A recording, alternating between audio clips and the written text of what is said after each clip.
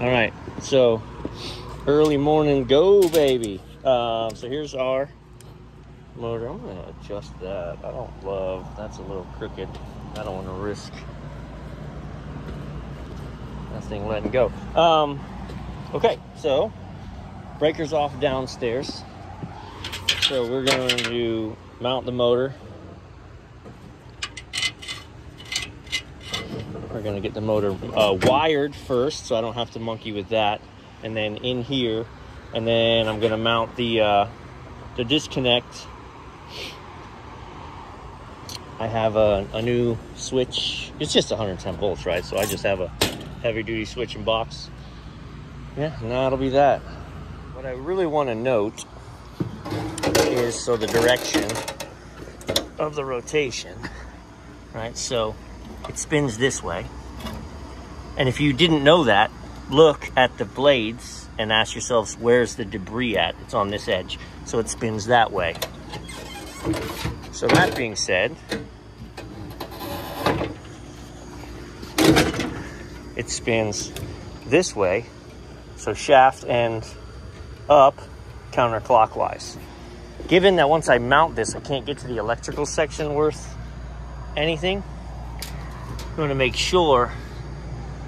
So it is wired for clockwise rotation currently because the red was on four. Um, and then if you need to reverse it, you just reverse the little red and blacks in there. Um, I keep whips. These are probably from an old uh, condensing unit, but this is exactly why I keep them so that I have prefab crimps, nice wire ready to go. I'm going to use this just for a ground wire. All right, let's okay, see. So I haven't done anything with this yet. So that's going to go here. And then you can see our alignment's going to be way off. But the good news is I've got height here to pull this up. So, okay, so get yourself a straight edge, right?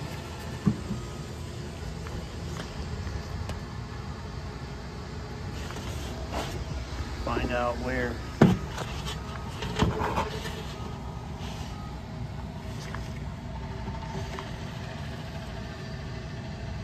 That's pretty dang good. Okay, before we close everything up, um, there's a wire nut that fell in there. That's going to rattle around.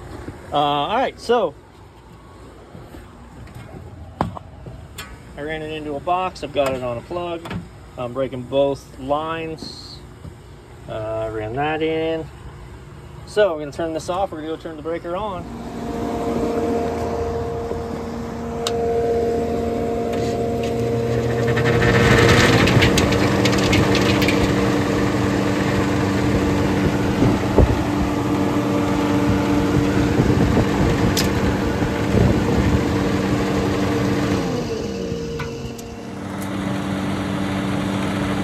pulling 9 amps. I gotta check the tag. I think that's too much, so it's pulling 9 amps. And uh, that's too much. This one's allowed to pull 7.2. So what I gotta do is open up the pulley so that we've, we've played this physics game before, right? The further in this loop that the belt rides, the slower the fan will spin and the less load on the motor. So that's what this adjustable sheave is for. I can loosen this up and I can open this and we'll see where we get with our amps. If I'd have just fired this up and walked away, I'd be back here in a month replacing it because it'd be burnt out. 7.7. I gotta open it up one more rotation.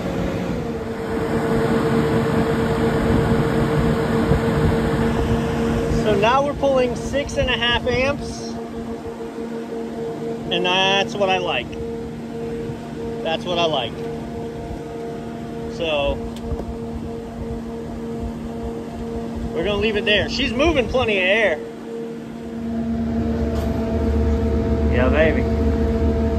Gross hoods, but at least they're pulling air.